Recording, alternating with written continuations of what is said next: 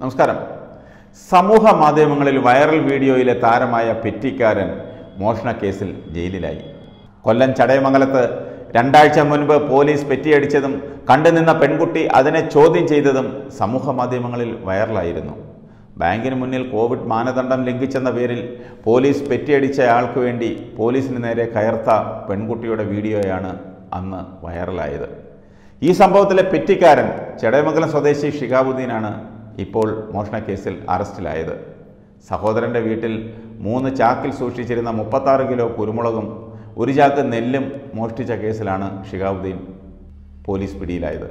കടയ്ക്കൽ പോലീസിന് പരാതി ലഭിച്ചതിനെ തുടർന്ന് നടത്തിയ അന്വേഷണത്തിൽ ഷിഹാബുദ്ദീന്റെ വീട്ടിൽ നിന്ന് ഒരു ചാക്ക് നെല്ല് കണ്ടെത്തി. നിലമേൽ മുറുക്കുമണിലുള്ള മലഞ്ചരക്ക് കടയിൽ പതിനാലായിരം രൂപയ്ക്ക് മുകളിൽ വിറ്റ കുരുമുളക് പോലീസ് കണ്ടെടുക്കുകയും ചെയ്തു. മോഷണക്കേസിൽ കേസിൽ മുൻപും ജയിലിലായിരുന്നിട്ടുണ്ട് ഷിഹാബുദ്ദീൻ കോടതിയിൽ ഹാജരാക്കിയ ഇയാളെ റിമാൻഡ് ചെയ്ത് ജയിലിലേക്ക് അയച്ചു. ചടമംഗലത്തെ ബാങ്കിന് മുന്നിൽ സാമൂഹ്യ അകലം പാലിക്കാത്തതിന് പോലീസ് ഷിഹാബുദ്ദീന് പിഴ നൽകുകയും കണ്ടുനിന്ന പെൺകുട്ടി പോലീസിനോട് ശുഭിതയായി പെരുമാറിയതും വലിയ ചർച്ചകളായിരുന്നു സമൂഹ മാധ്യമങ്ങളിൽ.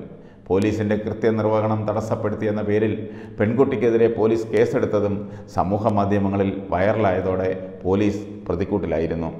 പെൺകുട്ടിയെ അഭിനന്ദിക്കാൻ ഷിഹാബുദ്ദീൻ വീട്ടിലെത്തിയതും സമൂഹ മാധ്യമങ്ങളിൽ വാർത്തയായിരുന്നു. ഏതായാലും ഇപ്പോൾ ഷിഹാബുദ്ദീനെ കാണണമെങ്കിൽ കൊട്ടാരക്കര സബ് ജയിലിൽ ചെന്നാൽ മതി.